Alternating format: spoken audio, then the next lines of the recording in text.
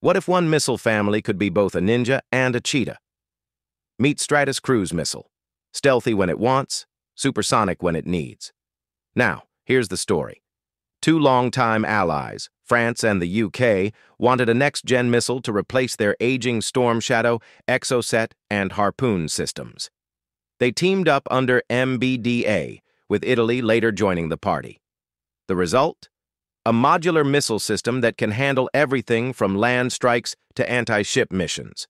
The Stratus family has two main variants. Stratus Low, the low observable version. It's subsonic, stealthy, and sneaks through radar like a ghost in the clouds, weighs approximately 1,800 pounds, range 900 miles, the quiet infiltrator. Stratus RS, the rapid strike variant. It's supersonic, built for quick, high-energy hits when speed matters, weighs approximately 3,300 pounds, speed, Mach 3 to 5 with 500 miles strike range, the fast, angry one for time-sensitive targets. Together, they form a perfect combo, one for silent infiltration, one for rapid retaliation. Think of it as James Bond teaming up with the Flash.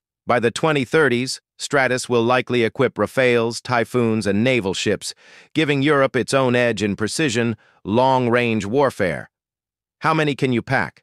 A fighter jet can carry two subsonic or one supersonic missile on pylons. At sea, roughly 8 to 16 missiles depending on ship and loadout.